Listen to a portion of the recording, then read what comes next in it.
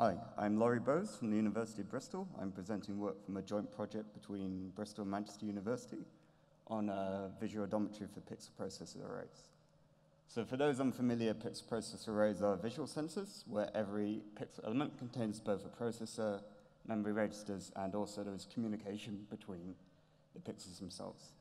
This work is making use of the SCAMP5 sensor being developed at the University of Manchester featuring a 256 by 256 array of 65,000 processors, each at 10 megahertz, all upon the same piece of silicon. This architecture allows whole images and other visual data to be stored and efficiently processed directly on the sensor's image plane. Additionally, the sensor's output per frame is determined by the program being executed on it. Um, so your output can range from entire images to only a few bytes of data. For example, you can perform point feature extraction and then only output the XY locations of the features detected. Here we see a comparison between the visual pipelines of a standard camera and a PPA sensor. The standard approach requires entire images be transferred to external hardware for processing, whereas the PPA can perform processing on board and then only output meaningful data. This can result in a huge decrease in the amount of bandwidth and power required to process each frame and allows the sensor to operate at extremely high frame rates.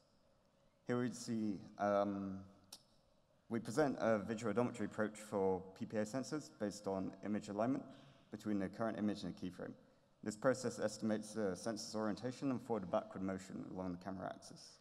On the left, we can see the motion estimation indicated by the vertical meter and the yaw and pitch estimation indicated by the overlay cross. All processing is conducted on the PPA sensor itself in excess of 500 hertz.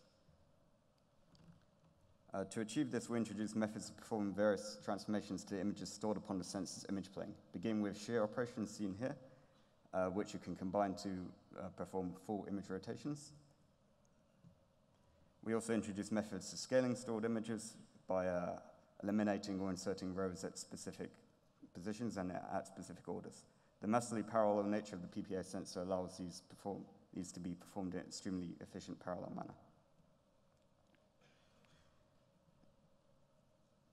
Using these transformations, we're able to conduct image alignment between images stored on the sensor's image plane. This involves extracting edges from each image and conducting an iterative process to maximize the number of edge pixels overlapping between them. Here we see an example of using this process to align the latest sensor image with a stored keyframe.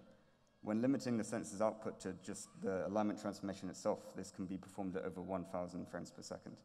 Changes in camera orientation are then deduced from the translation and rotational components of the alignment transformation, and similarly, motion along the camera axis is deduced by the scaling component of the alignment transformation.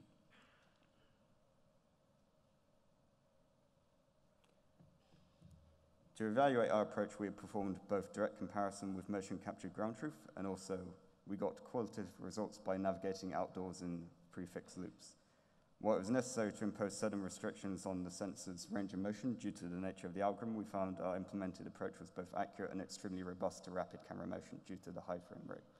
In summary, we demonstrate a constrained visual odometry approach which is conducted entirely upon a PPA sensor of 500 hertz, only using 2 watts of power.